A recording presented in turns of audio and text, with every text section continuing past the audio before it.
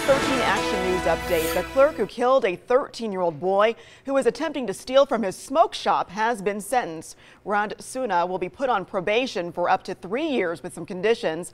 This surveillance shows the whole thing unfolding. You can see the four teens running into the store and then grabbing merchandise.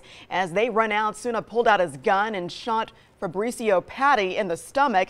He died later. Prosecutors say that Patti was unarmed and not approaching Sunna before he was shot.